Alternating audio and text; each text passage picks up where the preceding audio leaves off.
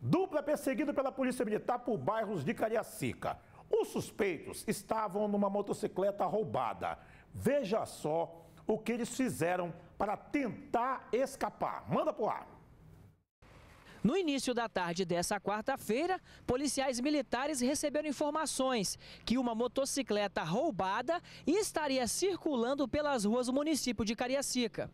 O veículo foi flagrado pelas câmeras do cerco inteligente, inicialmente na altura do bairro Jardim América. E a partir daí, a PM começou a rastrear a moto. Não demorou muito para que a polícia militar conseguisse encontrar os dois suspeitos aqui nessa região do bairro Novo Horizonte, em Cariacica, bairro que faz limite com o município de Viana.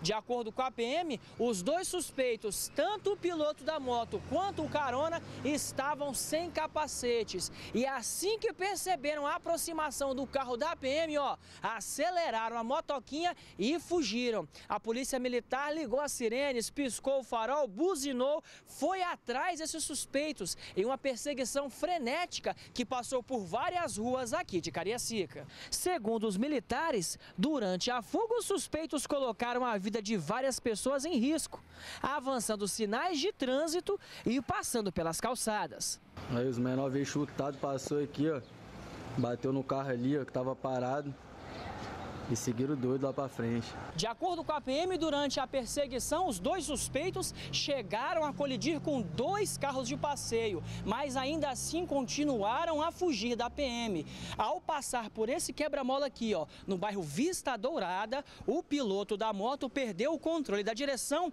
e foi bater em um caminhão que estava bem ali, ó, naquela esquina. Ainda assim, os dois suspeitos continuaram a dar trabalho para a polícia. Um dos indivíduos fugiu fugiu, mas rapidamente a polícia conseguiu colocar as mãos nele, conseguiu fazer a prisão, conseguiu fazer a detenção. Já o outro indivíduo que estava caído no chão reagiu à abordagem, chegou a lutar com os militares, mas depois de muito custo, ele foi detido. O vídeo foi registrado por curiosos que acompanhavam o trabalho da polícia, momentos após o acidente e a detenção da dupla.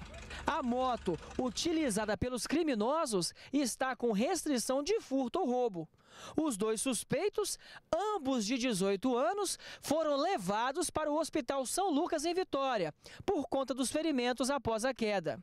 Ainda segundo os militares, o condutor não possui carteira de motorista. Assim que os dois suspeitos receberem alta médica, deverão ser encaminhados para a Delegacia Regional de Cariacica e explicar para as autoridades o que faziam sem capacete circulando pelas ruas de Cariacica e principalmente porque estavam em uma moto roubada.